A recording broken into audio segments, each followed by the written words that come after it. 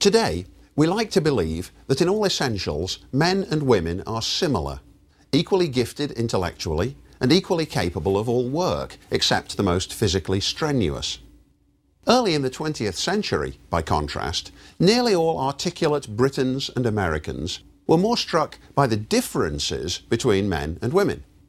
Suffrage advocates in both countries argued that women's moral superiority and their natural affinity for charity, compromise, and nurture would improve the quality of politics if they were allowed to participate.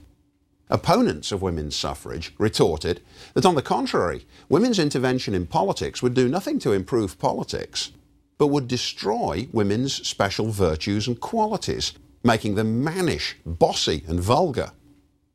Respectable medical opinion on both sides of the Atlantic agreed that women were oriented around their reproductive systems and prone to hysteria if overstimulated. Helen Kendrick Johnson, one of the most articulate American opponents of women's suffrage, regarded it as an attack on marriage, on, on childbearing, and on the family as central institutions of society. And she foresaw that it would introduce strife into the heart of family life. One male reviewer of her book noted that she, quote, possesses a wonderfully unfeminine capability for indulging in calm, logical discussion. In Britain, meanwhile, conservative opponents of women's suffrage pointed to the fact that radical suffragettes, like Christabel Pankhurst, seemed to be on the brink of insanity with their window smashing campaigns and hunger strikes. In the event, women's work and service during World War I strengthened the case for their enfranchisement. Once women had the vote, conservative politicians in both countries scrambled to recruit them and found the reality of their participation far less odious than their anticipation of it. The first woman to sit in the British Parliament, Nancy Astor, was herself an American by birth and a conservative. Well, ideas about the essential difference between men and women could be used to justify the pro suffrage position and the anti suffrage position. Middle class Victorians on both sides of the Atlantic, men and women, developed a theory of separate spheres. The idea was that women's role in life was to nurture children and to form their consciences and to instill religious and moral values. And women, particularly middle class women, were described in a language that simultaneously exalted and confined them. Uh, characteristic language described them as the angels of the household saying that they were made for nurture and that they were organised around reproduction. But that, on the other hand, uh, the, the assertion was women are less capable of sustained education, less able to undertake uh, sustained mental effort, and vulnerable to hysteria. Here's a little bit of characteristic rhetoric. This is from the, uh, the Catholic Cardinal of Baltimore, Cardinal Gibbons, in the 1870s. And he says, Woman is queen indeed but her empire is the domestic kingdom. The greatest political triumphs she would achieve in public life fade into insignificance compared with the serene glory which radiates from the domestic shrine, and which she illumines and warms by her conjugal and motherly virtues. Now you can see in this remark the typical conservative view that the family is the basic institution of society, not the individual and that a society is healthy in proportion as its families are intact, with mother at the very centre.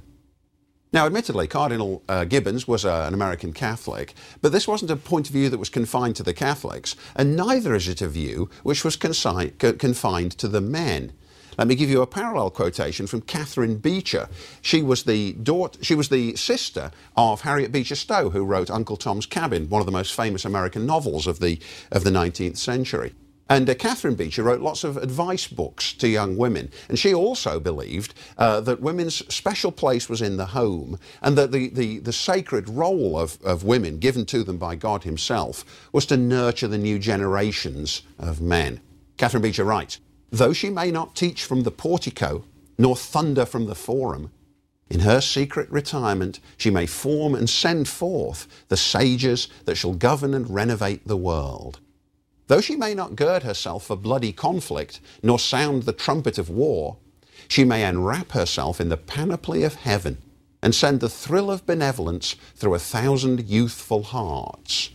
The claim here, of course, is that what the women are really doing a more important job than the men because it's in the home that they're, they're creating the character of each new generation. But in practice, women lacked legal rights. Their property became their husband's at the time of marriage. They weren't allowed to take independent legal action. In the very, very unlikely case of a divorce or a separation, women were likely to lose in custody battles. Women could be com- committed for insanity on the, on the uh, specifications of the husbands who could, who could call in a doctor and have their wives committed. They couldn't serve on juries. And all these kinds of disadvantages were conditions against which the early suffrage advocates protested. But it's important to emphasise, I think, because it's easy for us to forget this, that advocates of votes for women didn't say that women were really much more similar to men. They also agreed with this conception that women and men are totally different, and that it's because of the differences that women ought to be allowed to vote. People like Elizabeth Cady Stanton and Susan B. Anthony said, Women's superior moral qualities would elevate the tone of politics from its degraded condition in the late 19th century. I described in some previous lectures the, uh, the degradation of urban politics against which people like Theodore Roosevelt felt so strongly, and the mugwumps. And uh, upper and middle class women in both countries were saying, we can elevate the, the standard of politics. The emphasis in the works of Stanton and Anthony in America and of Millicent Fawcett, their counterpart in England, was on difference. They didn't say, give us the vote because we're just like men. They said, give us the vote because we're different from and better than men. Well, anti suffragists used the same idea, but with a slightly different spin. In their view, to enter a world of argument and force and coarseness, the arena of public political debate, would be to brutalise women and to rob them of the special qualities which added such a, lustre to civilization. Anti suffragists said it would be awful if women had to serve on juries. It means that they'd have to spend their time mingling with criminals and that they'd have to hand their children over to nannies and paid servants. If politics was coarse and corrupt, that must mean that as mothers, women had been falling short in their role as nurturers. For them to get into politics would further weaken their proper role. In other words, if politics is already deficient, it's because the mothers haven't really been raising the, children well enough. So the, the job is for the women to retreat further into the home. Now, a frequently quoted idea, uh, again on both sides of the Atlantic, was that men are naturally barbarians but that women have the role of taming and domesticating them. In the lecture on Theodore Roosevelt, I mentioned Elihu Root, uh, and we saw him in a previous lecture uh, opposing the direct election of senators. He was equally opposed to the idea that women should be given the vote. In this also, he was dismayed by the constitutional amendment which eventually was passed. And Root said, Suffrage, if it means anything, means entering upon the field of political life and politics is modified war. In politics, there is strife, contention, bitterness, heartburning, excitement, agitation, everything which is adverse to the true nature of women. Woman rules today by the sweet and noble influences of her character. Put woman into the arena of conflict, and she abandons these great weapons which control the world and she takes into her hands, feeble and nerveless for strife, weapons with which she is unfamiliar and which she is unable to wield. Woman in strife becomes hard, harsh, unlovable, repulsive. Many conservative women in both countries echoed this idea that politics is war by other means and that therefore it's anathema to women. Well, anti suffragists saw their worst fears confirmed in the conduct of the radical Women's Social and Political Union in Britain. This was the astonishing organisation uh, in Britain led by Emmeline Pankhurst, the wife of a North Country manufacturer, and her two daughters, Christabel and Sylvia. It was founded in 1903, uh, and the women of this family were impatient at the lack of progress which was being made towards the enfranchisement of women. The very first parliamentary bill for women's votes had been introduced into Parliament in 1867, and sponsored by John Stuart Mill. But although 1867 was the year of the Second Reform Act, it didn't include the principle of votes for women, and neither did the, the, Third Reform Act of 1884. At the same time, incidentally, back in the 1860s, it had been a source of special disappointment to the American suffragists, people like uh, Anthony and Stanton, that although the recently freed slaves had been given the vote, even though many of them were illiterate, highly educated women such as themselves were still being denied. Well, now, the, the, the, Pankhursts, after 1903, specialised in escalating tactics on behalf of women's votes. They said, we've got to take direct action, and we've got to be as conspicuous as possible in doing it. They certainly overcame the long tradition that women ought not to make themselves conspicuous in public life. First, they chained themselves to the railings in Downing Street outside the Prime Minister's house, making it very difficult for them to be taken away. Then one of them chained herself to a statue in the House of Commons lobby. Next, they and their supporters began smashing department store windows in Oxford Street and Regent Street, assaulting policemen. When they were taken to jail, they went on hunger strikes, dropping explosives into mailboxes, in every way trying to disrupt everyday life. And this is in Edwardian Britain, where women uh, seemingly decorous and well dressed and demure, suddenly would take hammers and smash the windows or little explosives out of their bags. Sylvia Pankhurst describes more of their methods. She says, Destructive militancy on a hitherto unparalleled scale. Petty injuries and annoyances continuing side by side with large scale damage. Street lamps were broken. Chairs flung into the Serpentine. This is the um, the lake in St James's Park next to Buckingham Palace. Cushions of railway carriages slashed, flower beds damaged, golf, green, golf greens all over the country scraped and burned with acid. Empty houses and other unattended buildings were systematically sought out and set on fire. Bombs were placed near the Bank of England. Lloyd George's new house, in process of construction at Walton on the Hill, was injured beyond repair by a bomb explosion. An incredible succession of actions taken by the suffragettes. The most dramatic action of all came in the year 1913.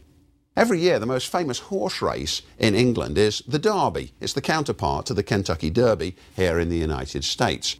And a, a young suffragette called Emily Davidson at the Derby ran under the rails and threw herself under the horse which was uh, owned by the king and was racing in the Derby. She was killed. And to the suffragettes, she became a martyr to the cause.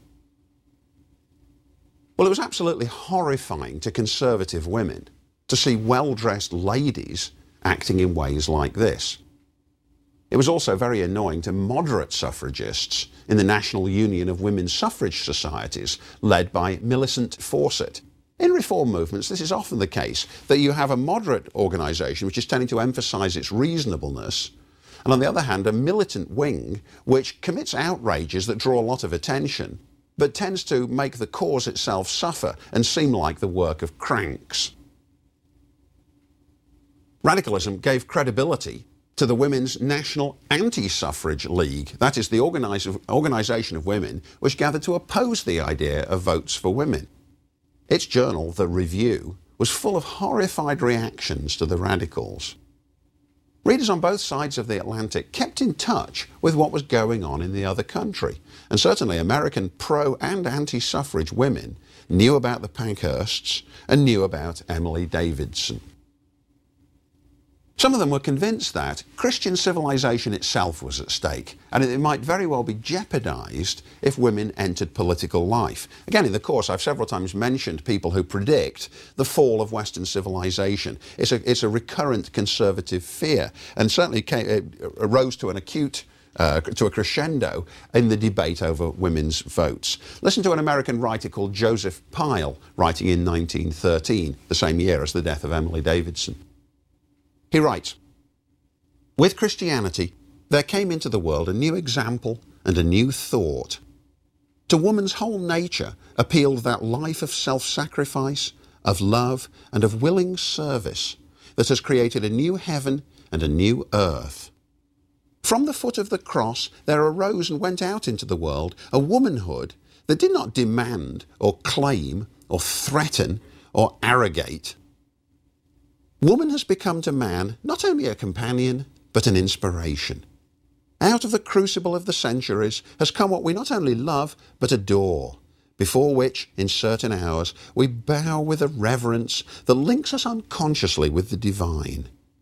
It is Christian civilization that is in the balance. Well, as you've probably noticed from these, these eulogies, these encomiums to the beauty and, and, uh, and divine quality of women, this is a debate which is going on mainly in the upper and, and uh, upper middle classes among women who don't have to work. It was already the case that hundreds of thousands of women in both countries were working in factories and on farms and as domestic servants, but they're, they're not the kind of women who are being idealised in, in, in the superheated rhetoric of this kind. Now, interestingly, there were women who were involved in political life who said it was an advantage to them to lack the vote. So long as women lacked the vote, they could influence all citizens without the suspicion that they were interested parties. A very interesting argument was made by Emily Bissell. This was an American woman active in the politics of the state of Delaware. She played a significant role in drafting and working and gathering information to support child labour laws. She was a consumer advocate and she was an activist in the Red Cross. And she insisted that it was better, better for this political work that women didn't have the vote.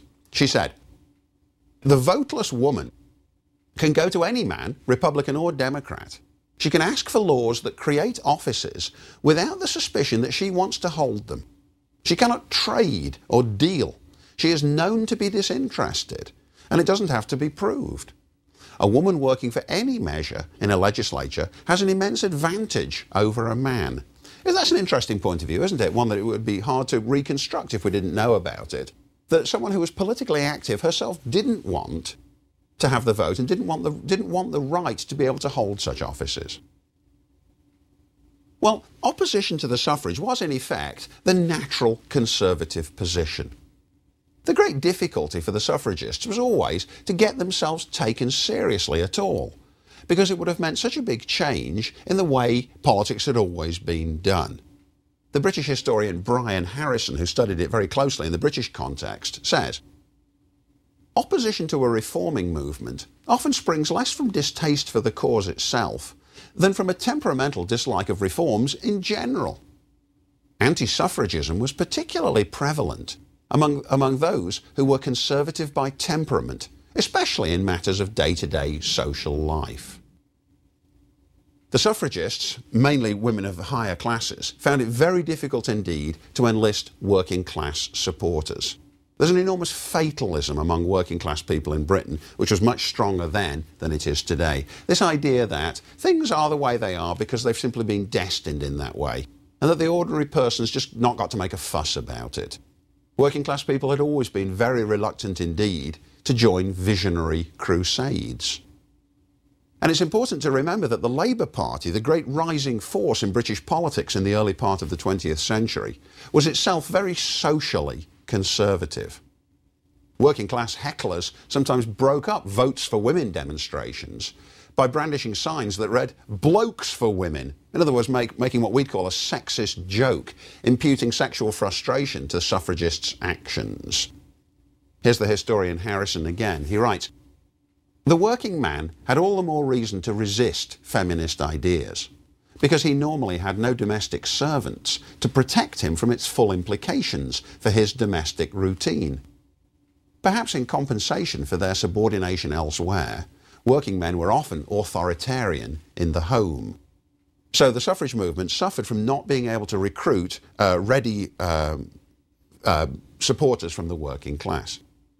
Now, the Labour Party and the trade unions which had given birth to the Labour Party themselves tended to be hostile to feminism because they were afraid that with a great change in a potential great change in gender relations, women might enter the workforce in much larger numbers. And of course, the more, if more women were coming into the workforce, that would tend to create a downward pressure on wages if women were admitted. And the unions were struggling to prevent wages from being uh, uh, decreased and trying to work to get them increased. So the Labour movement and the unions and the Labour Party have all got a built-in incentive not to be enthusiastic about women's suffrage or what we'd call feminist rights. Higher up the social scale, many conservatives were sceptical of democracy in the first place, as we've seen throughout the course, especially in Britain. And they viewed the extension of the vote to women, most of whom would not be well educated, as worsening an already severe problem. But some elite women did make the argument that their education gave them a better entitlement to vote than ignorant working men. Here's Lady Louisa Knightley speaking in 1885. She said she was waiting outside the polling station on election day while her husband voted. Quote, and felt for the first time personally the utter anomaly of my not having the vote while Joe Bull has. Joe Bull's an imaginary, uh, the, it's a, a, reference to the ordinary working man. She suddenly starts to realise how strange it is that I, despite all my uh, education, am being excluded, while men who in fact can't read and write are given the right to vote. She was the founder of the Conservative and Unionist Women's Franchise Association in 1908. This was a group of pro suffrage conservative women, and its members sometimes joined in the big suffrage demonstrations. Here's her description from the year 1910 of a suffrage march, and she adds in what I think of as a very ladylike tone of voice. Our banners made a brilliant display, and many of our branches were well represented. Warwickshire, Hull, and Croydon branches all contributed beautiful banners.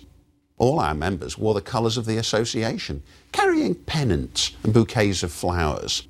In other words, they've got the accoutrements of their ladylikeness, and these are conservative ladies. They're trying to de radicalise the suffrage movement by showing that distinguished ladies such as themselves can join in. Here's another example of a, of a pro suffrage conservative, the Baroness Henry de Worms, writing in 1887. She wrote, This is not an age when men must work and women must weep. Women need not neglect their homes because they share the aims and aspirations of their husbands or fathers or brothers. The more women interest themselves in subjects of universal importance, the happier are their homes likely to become. So, counteracting arguments like Elihu Root, who says women are going to become brutalised by politics, she says no, home life will be stronger if man and woman together can take a common interest in political life. Well, the debate over suffrage was affected by other political and intellectual trends of the late 19th and early 20th centuries, especially by the rise of socialism. Many conservatives saw a continuum between socialism, free love, and women's participation in politics. They had the idea that all these things were dangerous and that they went together. They certainly believed that socialism was somehow synonymous with the destruction of marriage in favour of a kind of erotic selfishness and self indulgence. And uh, the, the, the term used at the time was free love. Caroline Corbin of Connecticut, writing in 1888, argued that socialism meant degrading women to the promiscuous level of men. In other words, rather than raising everyone up, it would be pushing the women down. But at the very at the far end of the political spectrum, the threat of German military power appeared in the debate, strange as it may seem. For example, Lord Cromer, who was another of the great British imperial proconsuls, a man very much in the same stripe as Lord Milner or Lord Curzon, whom I've mentioned in connection with the Empire, said this in a speech of 1910. The German man is manly, and the German woman is womanly. Can we hope to compete with such a nation as this if we war against nature and endeavour to invert the natural roles of the sexes? We cannot do so. In other words, women ought not to get to the vote because were they to get it, we'd be less likely to be able to defeat Germany in a war. It sounds like a very, very strange line of argumentation, but clearly was convincing to Cromer. The debate also was sometimes cast in the language of evolution. I've mentioned at various points in the course how, after the publication of Darwin's book on the origin of species back in 1859, other groups had picked up evolutionary language and applied it to areas of economics and politics as well. And it was applied, not surprisingly, to the suffrage vote, to the suffrage debate as well. Evolution shows us how organism, organisms adapt to special niches. And so the differentiation of spheres between men and women could be seen as this kind of specialization. If so, then reducing the difference by enfranchising women was going to be evolutionarily retrogressive. An American writer called Mrs. A.J. George, writing in 1916, said, The vote would be a backward step toward conditions where the work of man and woman were the same, because neither sex had evolved enough to see the wisdom of being specialists in their own line. All right, so the idea here is the more we evolve, the more different men and women are going to become. In a, a, previous lecture, we also so, so uh, we also encountered the idea of Anglo-Saxon race suicide. This was the kind of thing that people like Madison Grant were very preoccupied by. The idea uh, was this: if women go into politics instead of being mothers, then the Anglo-Saxon birth rate is going to fall further, and the Anglo-Saxons are going to be swamped by the less advantaged races. Neglected sons will become weak and so America would become, quote, a race of masculine women and effeminate men. And the mating of these would result in the, in the procreation of a race of degenerates. Well, in the event, the decisive um, change in the situation came from the First World War. When millions of men were drafted into the military services, women's services in both economies uh, became indispensable. Women went to do all sorts of jobs, particularly in industry, which they'd never done previously. It greatly strengthened the suffrage position to show, look at the way in which women are capable of doing all these jobs which previously were confined to the men. And that in turn led to constitutional changes in both nations. A constitutional amendment passed through Congress and then through three quarters of the states in, the, in 1920, in time for women to participate in the 1920 presidential election. And the president they chose was Warren G. Harding, a much, much more conservative man than his immediate predecessor, Woodrow Wilson. In 1918, Parliament in Britain passed a vote uh, which specified that women over the age of 30 could vote if they were the owners of £5 worth of real estate. So uh, women's suffrage was more restricted at first, but it, it was then extended to full equality by a second Act of Parliament in 1928, just 10 years later. It was bitterly disappointing to feminists because they discovered that most women voted in the same way as their fathers if they weren't married, and the same way as their husbands if they were married. In other words, there wasn't the same kind of transformation of political life as some feminist leaders had anticipated. Meanwhile, former opponents of women's suffrage were quick to note that women tended, if anything, to be politically more conservative than men. The first woman to sit in Parliament was Nancy Astor, born in America. She'd never been a suffragist, but she'd become popular because of her charity work with wounded British soldiers during the First World War. She was the wife of an aristocrat. And when, when her husband's father died and he inherited the noble title, it meant that he had to go to the seat in the House of Lords. And so she, did, she decided to uh, stand for Parliament to get his seat. And she won it in 1919. She was a very good speaker and great at dealing with hecklers. In the 1920s and 1930s, she had a long feud with Winston Churchill, partly because she was uh, an advocate of appeasement of Hitler in the 1930s. There's a famous anecdote about one of their exchanges in which Nancy Astor says, Winston, if you were my husband, I'd put poison in your coffee. To which Churchill answered, Nancy, if you were my wife, I'd drink it. Another distinguished member of Parliament was the Duchess of Atholl, who'd been a leading anti-suffragist she opposed votes for women, but once women got the vote and got the right to sit in Parliament, she became a Conservative Member of Parliament from 1923 to 1938. Eventually, she resigned in protest over the Conservative government's appeasement of Hitler in the late 1930s.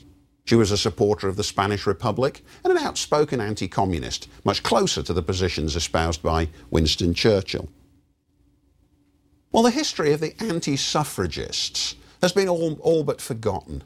The price of defeat in political disputes is often oblivion. I think it's, it's worth hanging on to this thought. Before women got the vote, the people who were arguing for it were vulnerable to ridicule. Once they had the vote, those who'd argued against it in turn were ridiculed, and then they were forgotten.